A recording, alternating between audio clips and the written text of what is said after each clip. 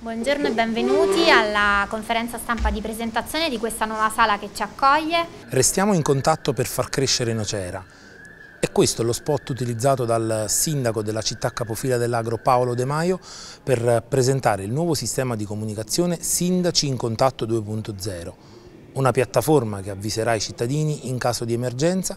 ma anche in caso di una semplice chiusura di un edificio scolastico, della variazione del piano traffico, di un cantiere e di tante altre attività che riguardano la città. È stata l'occasione anche per presentare la nuova aula COC con le telecamere che controllano lo stato dei fiumi e che avvisano i responsabili in caso di emergenza. Sindaco De Maio, una giornata importante per evidenziare il lavoro della protezione civile per quanto riguarda il rischio idrogeologico e poi per presentare quest'app Sindaci in Contatto 2.0. Ma è un lavoro che abbiamo prodotto in questi mesi eh, tra un, una stretta collaborazione con l'assessore l'assessore Lamberti e gli uffici, eh, abbiamo installato delle telecamere che ci consentiranno nei cinque punti più critici dell'alveo comune Nocerino, Solofrana e Cavaiola anche ovviamente, ci consentiranno di monitorare costantemente dalla sala COC eh, lo stato della, de, appunto, dei torrenti, eh, così da poter in fase emergenziale coadiuvare con le associazioni di protezione civile che ormai accompagnano eh, anche dalla passata amministrazione questo, questo lavoro, potremo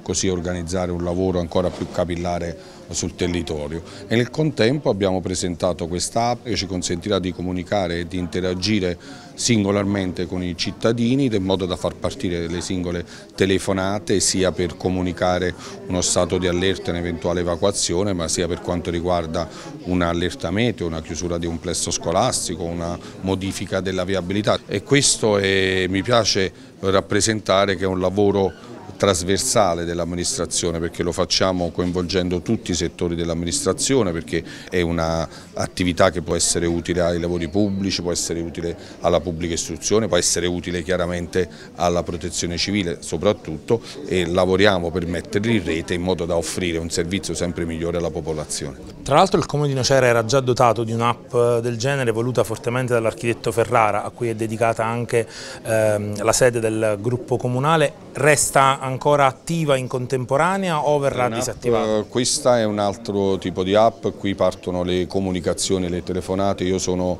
eh, in possibilità di registrare un audio e far partire le telefonate singolarmente a tutti i cittadini. Eh, credo che con un poco ma con tanta abnegazione e un po' di organizzazione stiamo dotando un ufficio di protezione civile e una sala COC di un'organizzazione che penso sia a passo di quei tempi. Ho anticipato che al prossimo incontro eh, con i sindaci dell'agro eh, proporrò proprio un coordinamento anche di una protezione civile dell'agro perché ormai non possiamo parlare più di tratti che ricadono nelle singole città ma sono eh, questioni che ormai affrontiamo anche in modo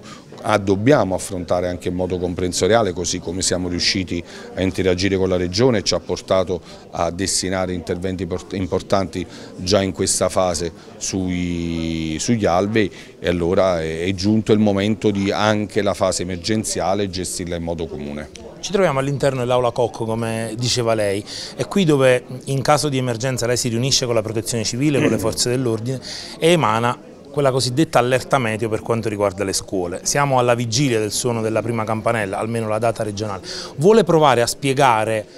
cos'è un'allerta meteo, cioè perché un sindaco decide che una scuola deve chiudere visto che sappiamo che tra poco cominceranno ad arrivare i messaggi di genitori e alunni che ci invocano sono, chiusure o aperture? Ci sono ormai diversi motivi che vanno contemplati in questo tipo di attività, può, può riguardare la vicinanza di un plesso rispetto a un alveo che in quel momento presenta delle criticità, eh, ci sono questioni di, eh, di avviabilità che un'eventuale previsione di eh, precipitazioni copiose possono portare ad anticipare eventuali problematiche che si possono avere nelle fasce di orari di ingresso o di uscita dalla scuola, così come dire, la questione epidimontana che eh, spesso coinvolge gli allert della Regione Campania ci possono indurre a anticipare eventuali fenomeni in modo da eh, gestire al meglio plessi scolastici. Un'ultimissima, abbiamo visto le telecamere che controlleranno lo stato eh, dei fiumi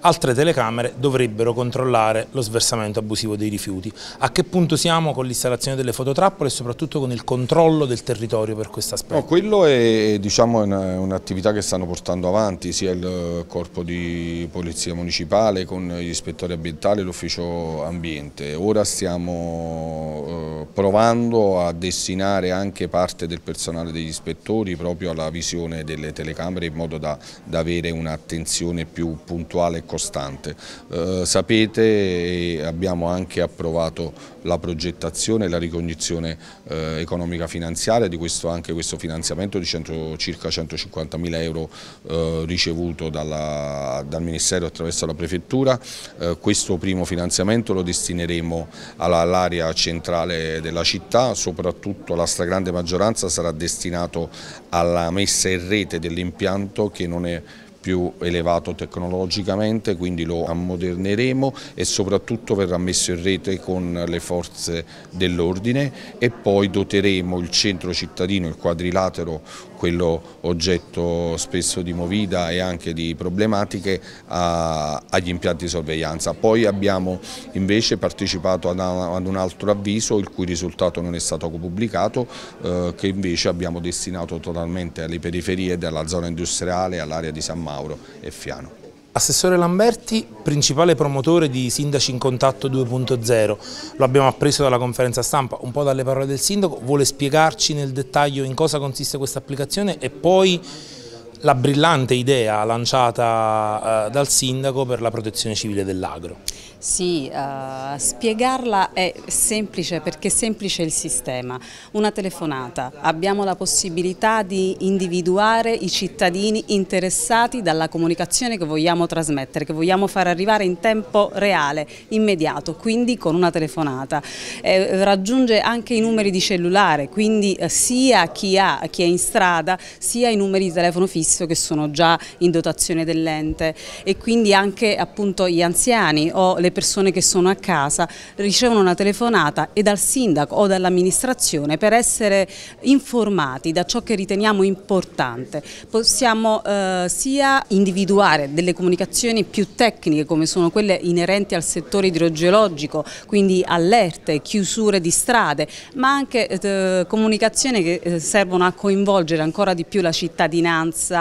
per eventi o per iniziative di cui l'amministrazione eh, si fa promozione motrice. Nicola Santaniello, coordinatore del gruppo di protezione civile comunale. Oggi è una giornata importante anche per voi perché finalmente vengono svelate al pubblico e alla stampa queste telecamere e poi l'applicazione Sindaci in Contatto 2.0 che sarà certamente utile per aiutare la cittadinanza. Sì, è effettivamente un giorno importante perché oltre a presentare un'applicazione sia come per le telecamere sia per Sindaci in Contatto 2.0 si coordina